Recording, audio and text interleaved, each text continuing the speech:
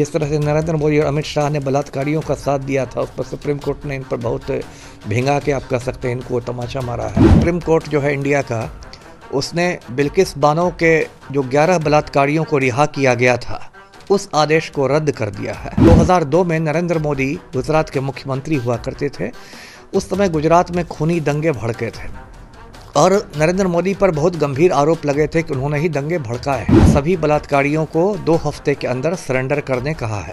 यानी कि दो हफ़्ते के अंदर सारे बलात्कारियों को दोबारा जेल जाना पड़ेगा। और बिल्किस बानो जो उस समय पाँच महीने की प्रेग्नेंट थी, उसके साथ गैंग रेप हुआ, सामूहिक बलात्कार हुआ तो इतनी ज़्यादा मतलब दरिंदगी हुई, हैवानियत हुई कि गैंग रेप भी हो रहा है, मर्डर भी हो रहा है। सुप्रीम कोर्ट ने कहा कि जब इस पूरे मामले की सुनवाई महाराष्ट्र में हुई थी तो गुजरात सरकार को तो कोई फैसला लेने का हक ही नहीं। उनके चैनल के माध्यम से मेरी मांग है कि इन ग्यारह लोगों को सजाए मौत मिलनी चाहिए। बिल्किस बानो केस याद होगा आपको? ऐसे में इस केस को लेकर फिर से इस बार कहीं ना कहीं सुनवाई हुई है और ये सुनवाई सुप्रीम कोर्ट में हुई है।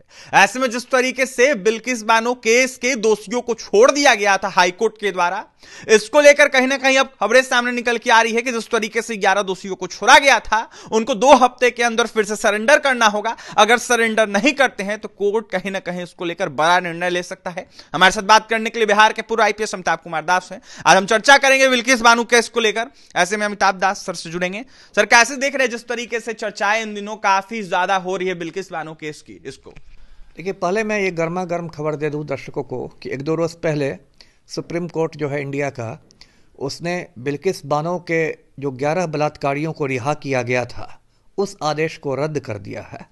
और सभी बलात्कारियों को दो हफ़्ते के अंदर सरेंडर करने कहा है।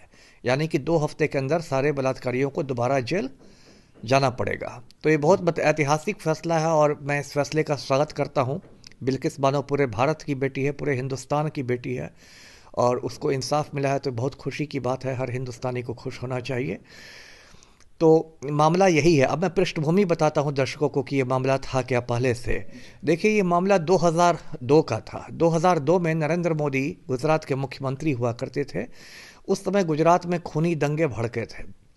और नरेंद्र मोदी पर बहुत गंभीर आरोप लगे थे कि उन्होंने ही दंगे भड़काए हैं।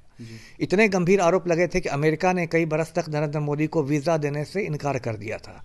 हाल में बीबीसी की एक डॉक्यूमेंट्री भी बनी है नरेंद्र मोदी पर उसमें भी आक्षेप किया गया उस डॉक्यूमेंट्री को इंडिया में बैन कर दिया गया प्रतिबंध लगा दिया गया है। तो नरेंद्र मोदी बहुत विवादों में रहे और उन्हीं दंगों के दौरान ये जो बिल्किस बानो है इसके घर पर दंगाइयों ने हमला कर दिया था। इसके परिवार के सात सदस्यों का खून कर दिया, जिसमें इसकी तीन साल की बेटी थी। और बिल्किस बानो, जो उस समय पाँच महीने की प्रेग्नेंट थी, उसके साथ गैंग रेप हुआ, सामूहिक बलात्कार हुआ। तो इतनी ज़्यादा मतलब दरिंदगी हुई, हैवानियत हुई कि गैंग रेप भी हो रहा है, मर्डर भी हो रहा है।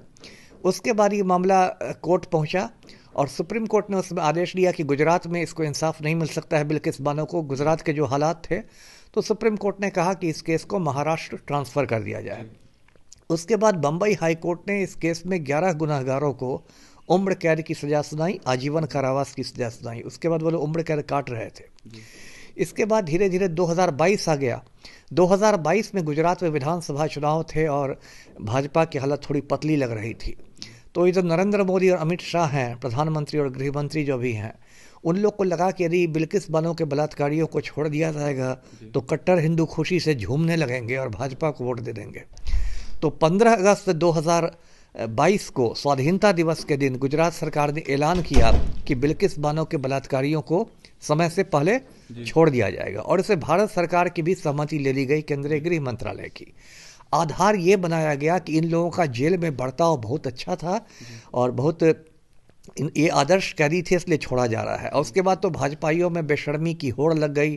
कुछ भाजपाइयों ने कहा कि ये संस्कारी, बलात्कारी थे। अब बताइए, बलात्कारी भी हैं, संस्कारी भी हैं? ऐसी बेशर्मी तो भाजपा ही दिखा सकती है। किसी ने कहा कि ये बहुत कुलीन ब्राह्मण थे और ये लोग जब जेल से छूटे तो समझिए कि इनको फूल मालाएँ पहनाई गई, आरती उतारी गई, मिठाई खिलाई गई, लगा कि नेल्सन मंडेला जेल से निकल गया। अच्छा कोई रेपिस्ट कैसे सही बर्ताव कर सकता है? अमिताभ दास जी। अब देखिए जब किसी को मदद करनी है सरकार को तो मदद का कोई आधार तो आपको बनाना होगा ना? अब सरकार रेप को तो नहीं खंडन कर सकती थी कि रेप नहीं हुआ तो कोर्ट ने सजा सुनाई दी थी। तो जेल से निकलना है तो कुछ बना दीजिए आधार ज़बरदस्ती का आधार। तो उसके बाद वो लोग जेल से निकले बहुत धूमधाम के साथ गाजे बाजे के साथ। उसके बाद इसको बिल्किस बानो ने इसको मतलब सुप्रीम कोर्ट में चुनौती दी। सुप्रीम कोर्ट में दो जस्टिस का बेंच था। एक जस्टिस नागरत्ना है महिला न्यायमूर्ति हैं और एक जस्टिस उज्ज्वल भुइया है। उन्होंने ये पूरी मतलब बहस सुनी और उसके बाद पिछले अक्टूबर में फैसला सुरक्षित रख लिया। और अभी दो तीन दिन पहले फैसला हुआ जिसमें सुप्रीम कोर्ट ने दो तीन महत्वपूर्ण बातें कही। सुप्रीम कोर्ट ने कहा कि जब इस पूरे मामले की सुनवाई महाराष्ट्र में हुई थी तो गुजरात सरकार को तो कोई फैसला देने का हक ही नहीं है है ना? गुजरात सरकार तो इसमें ज़बरदस्ती घुस गई। तो इसलिए सुप्रीम कोर्ट ने इसको रद्द कर दिया रिहाई को। फिर सुप्रीम कोर्ट ने यह भी कहा कि देखिए महिला की पीड़ा को सबको समझना चाहिए। वो किसी भी धर्म की महिला हो किसी भी संप्रदाय की महिला हो। एक तरफ़ से नरेंद्र मोदी के, के गाल पर बहुत बड़ा बड़ा मतलब आप तमाचा समझ सकते हैं सुप्रीम कोर्ट की ये जो टिप्पणी है जिस तरह से नरेंद्र मोदी और अमित शाह ने बलात्कारियों का साथ दिया था उस पर सुप्रीम कोर्ट ने इन पर बहुत भेंगा के आप कह सकते हैं इनको तमाचा मारा है। और उसके बाद सुप्रीम कोर्ट ने ये फैसला दिया तो अब तो खैर इनको दो हफ़्ते में जेल जाना ही होगा कि सुप्रीम कोर्ट ने रुख दिखा दिया है। अब देखिए इसमें दो तीन बातें और मैं कहना चाहूँगा। एक बात तो है कि मेरी जो अपनी समझ है जो मेरी अपनी राय है मैं तो मानता हूँ कि जो ग्यारह गुनाहगार हैं इनके लिए उम्र कैद भी छोटी सजा है। कायदे से तो इनको फांसी की सजा होनी चाहिए। जैसे आपको याद होगा दर्शकों को भी याद होगा कि निर्भया के गुनाहगारों को फांसी दी गई थी चार गुनाहगारों को फांसी पर लटकाया गया था। निर्भया कांड बहुत चर्चित हुआ था। तो मैं तो मांगूँगा आपके चैनल के माध्यम से मेरी मांग है कि इन ग्यारह लोगों को सजाए मौत मिलनी चाहिए। ऐसे मौत की सज़ा बहुत कम मिलती है देश में। दुर्लभतम मामलों में मिलती है लेकिन मेरा मानना है कि तो दुर्लभतम मामला है। दूसरी बात जो एक अच्छी बात इस पूरे बिल्किस बानो के संघर्ष से सामने आई है कि बिल्किस बानो को इंसाफ देने की पूरी जो जंग हुई पूरी जो लड़ाई हुई वो मतलब हिंदुओं ने लड़ी। ये एक बहुत अच्छी बात आई। अब देखिए बिल्किस बानो की जो भी वकील है शोभा गुप्ता हो या बृंदा ग्रोवर हो सब हिंदू महिलाएँ हैं। या जिन लोगों ने जनहित याचिका भी की सुप्रीम कोर्ट में जैसे सुभाषिनी अली ने किया आपको रूपरेखा वर्मा ने किया महुआ मोत्रा ने किया ये सारी मतलब हिंदू महिलाएँ थी। तो ये बहुत एक अच्छी बात इस देश में हुई कि जो नफ़रत का माहौल पैदा किया जा रहा है इस देश में उस देश में भी बिल्किस बानो को इंसाफ दिलाने की जो जंग थी वो हिंदुओं ने लड़ी और इसको हिंदू मुसलमान के चश्मे से नहीं देखा गया इसको न्याय और अन्याय के चश्मे से देखा गया और बिल्किस बानो को पूरे हिंदुस्तान की बेटी समझ कर लड़ाई लड़ी गई। तो ये बात जो है वो मतलब खुशी देने वाली है इस पर मुझे बहुत फ़ख्र है कि मैं ऐसे हिंदुस्तान में हूँ। जी। अंतिम में जाने से पहले क्या कहिए? अब जाने के पहले तो मैं ये कहूँगा कि इस केस का असर आनंद मोहन के भी केस पर पड़ेगा। क्योंकि जो पलटू राम है हमारे मुख्यमंत्री उन्होंने पिछले साल अप्रैल में इसी तरह आनंद मोहन को जो कि खूनी था उम्र कैद काट रहा था उसको ऐसे ही समय से पहले छोड़ दिया और वो भी चुनावी वजह से ही क्योंकि पलटू राम को राजपूत वोट बैंक में संधमारी करनी है। और वो मामला भी सुप्रीम कोर्ट में ही है। कृष्णैया साहब की पत्नी ने चुनौती दी है और यही जनवरी फरवरी में उसकी अगली तारीख आने वाली है।